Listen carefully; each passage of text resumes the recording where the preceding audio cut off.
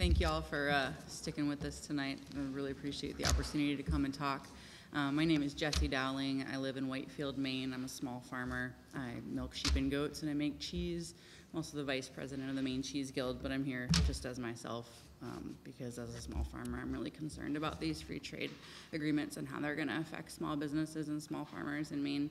Um, I think everyone did a really good job explaining why the TPP is a bad deal for Maine and a bad deal for us.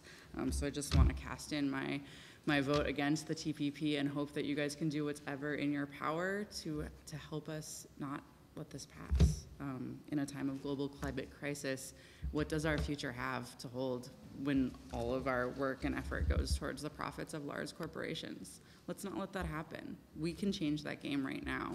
It's up to us. So why not? That's all I gotta say. Dowling, yeah.